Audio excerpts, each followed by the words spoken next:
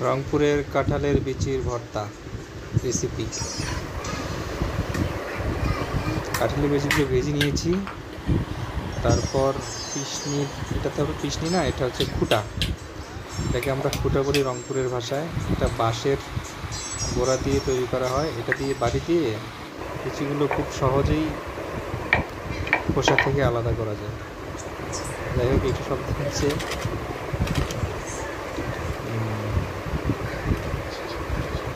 এবার বিচিগুলোকে একটু থেতলিয়ে নিতে হবে।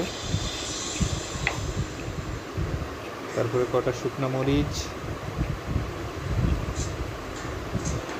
এগুলো হচ্ছে ভাজা শুকনো মরিচ।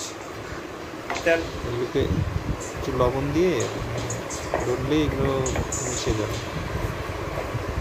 তারপর পরিমাণ মতো একটু পেঁয়াজ দিয়ে দিলাম সাথে একটু রসুন কুচিও আছে।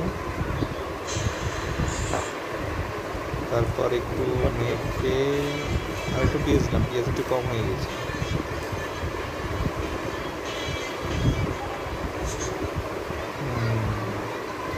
রংপুরের ঐতিহ্যবাহী কাঁঠালের বিচির ভর্তা, মাটির পিসনিতে পরিমাণ মতো সরিষের তেল দিয়ে দিলাম।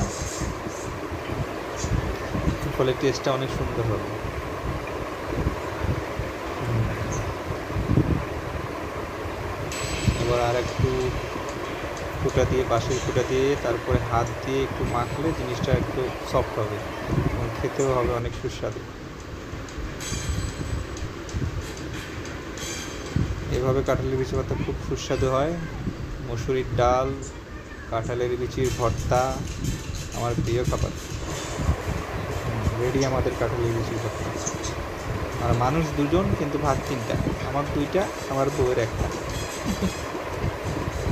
ওকে ধন্যবাদ সবাইকে দেখার জন্য Thanks for watching.